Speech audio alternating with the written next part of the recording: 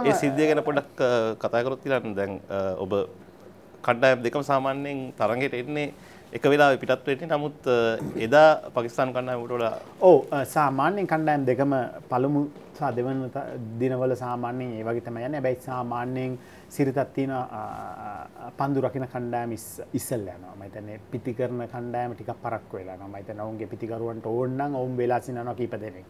එහෙම තමයි තිබ්බ. මම හිතන්නේ එදා අපි ඉක්සල්ලගේ අපි පන්දු රකින්න කණ්ඩායම.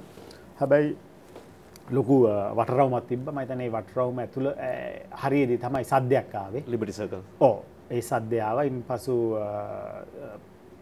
රති නපත් වෙනවා වගේ සද්‍යයක්කාව දිල්ශාන් කෑක අපට වෙඩි තියනවා කියලා. ඉන් පසු තම මහිතන්නේ වාසනාවට මහිතන අපත් වසර තියක පමණ යුද්ධයක් තිබුණ. ආනන්දින්නට සැහැන ඩ්‍රිල් කර බෞද්ධවීම් කර කෝමද රියක් කරන්න දෙවල්ලොල්ට කියන එක.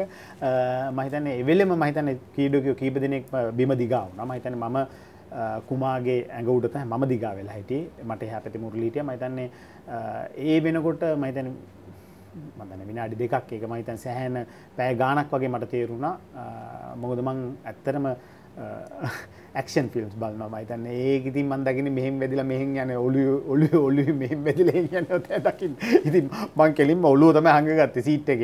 Uh, ඔලුව වදී ඔලු වෙදල මැරේ කියලා. ඇබැයි uh, මට තේරුණේ නෑ ඇත්තටම uh, වැදුන කියන එක.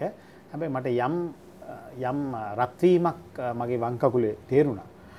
ඊට පස්සේ මහිතන්නේ බස් එක ක්‍රීඩාංගනයට ගියාම සියලු දෙනම් බැහලනට නැකිටින්න බැරිුණ මහිතන්නේ කපු ගෙදර තමයි මාව අරගෙන උත්සගෙන ගී ඊට පස්සේ මංහිතුව ඒත් මංහිතුවන මට වැඩි වෙදිල කියලා.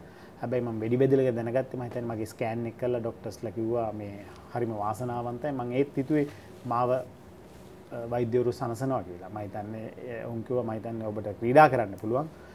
මේක බෝර්න එක වැදිලත් නෑ. ප්‍රධාන ස්නායු වැදිලත් නෑ. තන බෝර්න එක වැදුනට මට ක්‍රඩා කරන්න බෑ. සාමාන්‍ය විදිට ඇවිදින්න තිබ්බකිවා බැයි ප්‍රධාන ස්නාය වෙදන ම පරලෙස්සන තමැක මතන දෙකම් බේර ලඟල් දුලහ පමණ ඇතුළට ගිල ධනිය ආසන්නේ නැවති තිබුණා.